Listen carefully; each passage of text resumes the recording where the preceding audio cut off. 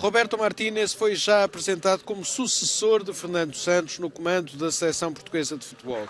O espanhol de 49 anos assinou esta segunda-feira com a Federação por três anos e meio. Nas primeiras declarações prometeu uma equipa de ataque que não perca a competitividade. Portugal tem de ter sempre a vontade de competir em tudo. Para isso, tem de ser uma equipa moderna, tem de ter flexibilidade tática.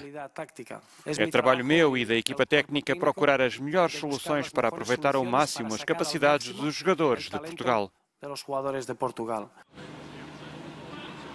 Uma das grandes interrogações em relação às opções do técnico, que passou os últimos seis anos a treinar a seleção da Bélgica, é que mexidas fará no plantel e se irá ou não convocar Cristiano Ronaldo. O primeiro desafio é a qualificação para o Euro 2024, a estreia frente ao Liechtenstein em março.